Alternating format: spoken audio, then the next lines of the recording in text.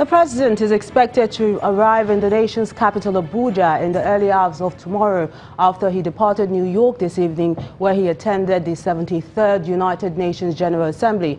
While in New York, the president delivered what was described as Nigeria's national statement at the UN General Assembly, calling on the global body to step up efforts towards tackling the many challenges confronting the world. Our correspondent Ibrahim Adra tells us more.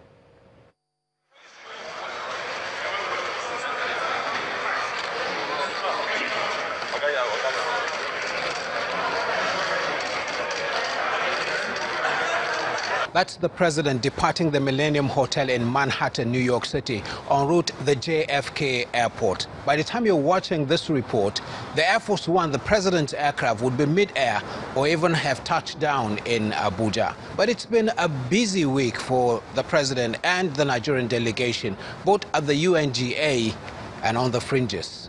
Madam President, from the general debates to meetings on tuberculosis, nuclear arsenals, and fight against corruption. There were private meetings with some world leaders, one of whom is the U.S. Secretary of State Mike Pompeo.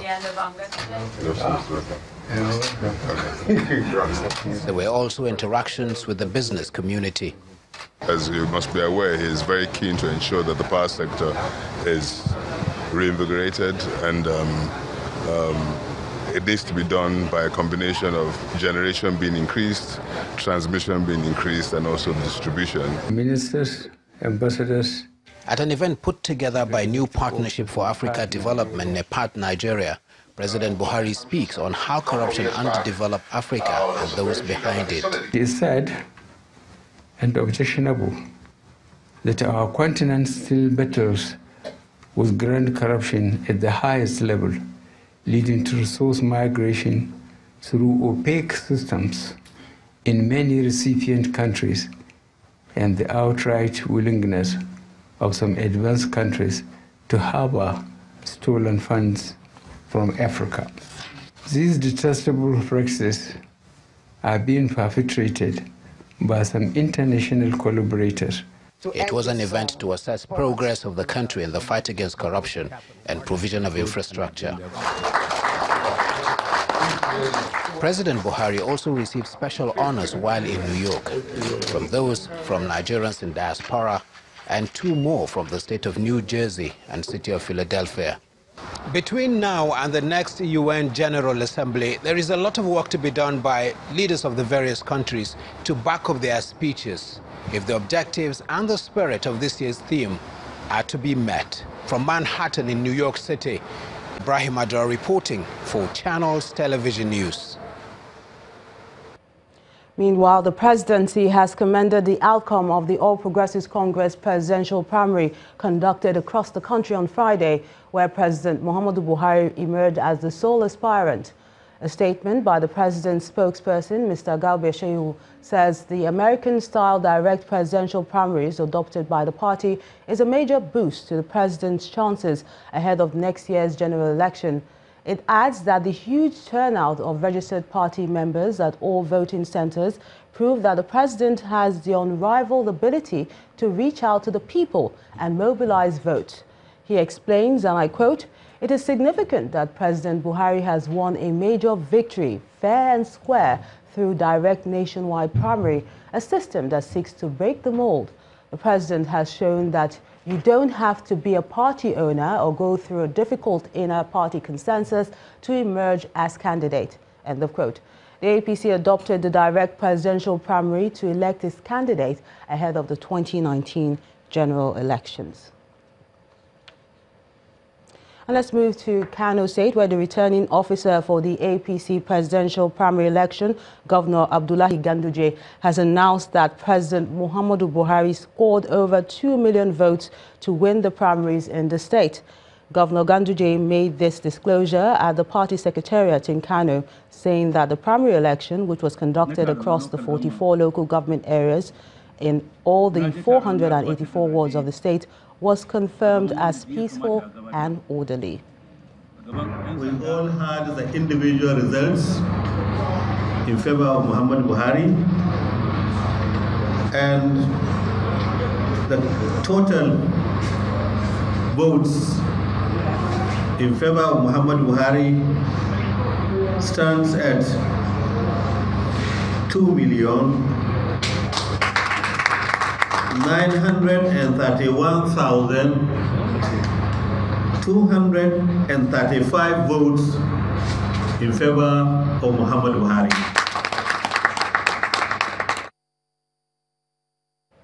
And as the campaigns for the 2019 general elections heat up, the political scene in Lagos is also becoming more intriguing.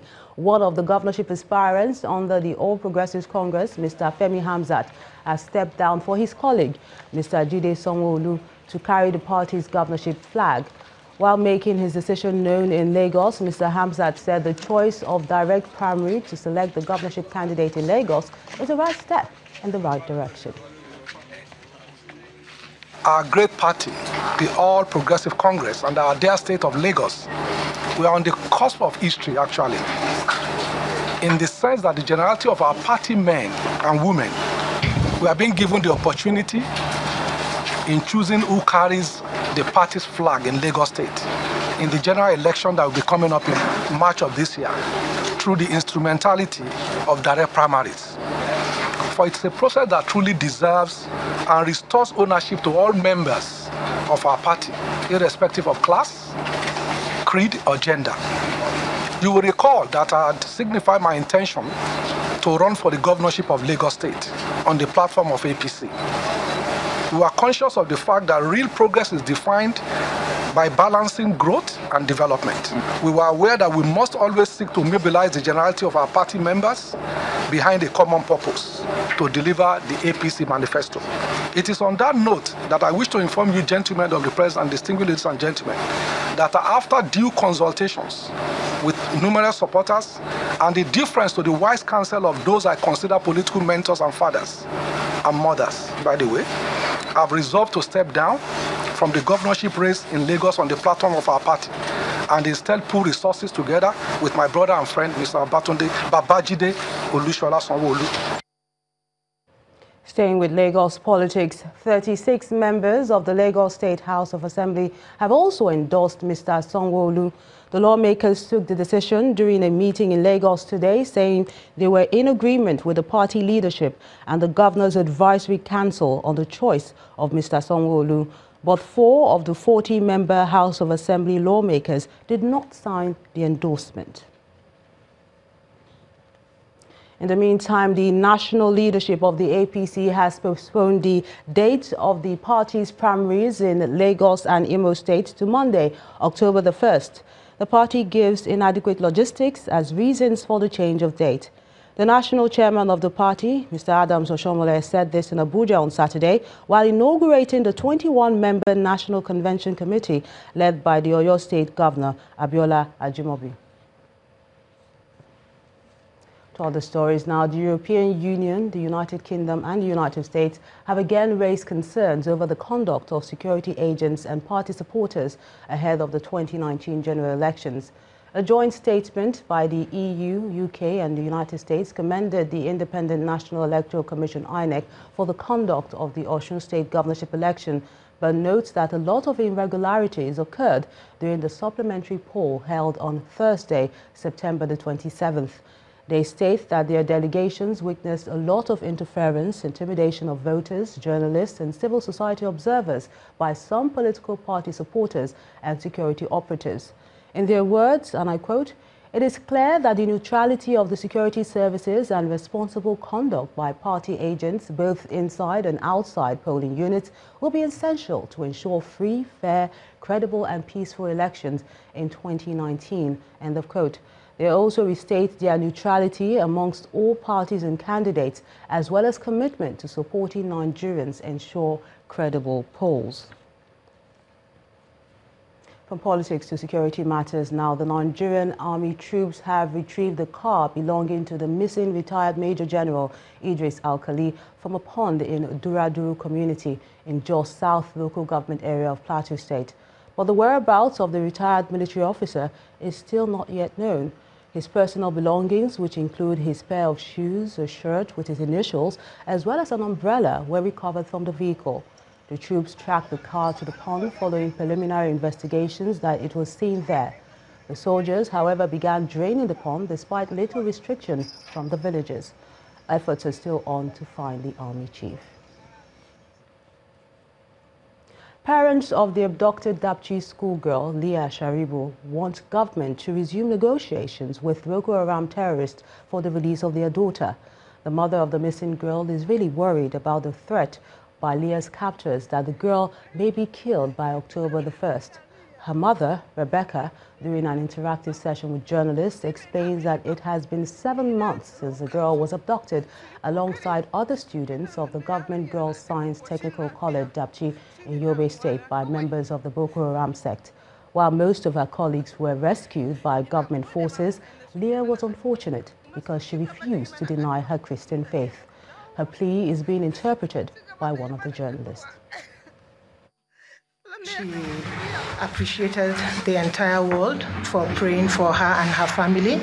And she said she is here on behalf of her family, she and her husband especially, to plead with the entire world, most especially the federal government. And she pleaded with the president, the vice president, the secretary to the federal government that they should please do whatever they can to ensure that Leah is being released.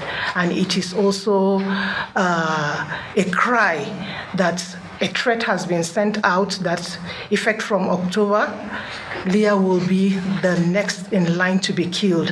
And that was made, what made her to break down, to really plead with the federal government that whatever they will do to ensure that Leah is released before that time, they should please go ahead and do. And we have seen how emotionally she became because it is so difficult, even for me, to remember that just on Monday it will be 1st October. So it is her sincere desire that anybody that can do anything to ensure that she is out should do it. She also wanted. Uh, she also said she thanks the entire world and then most especially Nigerians for standing in with the family and for pushing and pressuring every angle to ensure that Leah is being released. So she wants to appreciate everybody, but she, most especially she thanks the entire world for praying because prayer is the most important thing.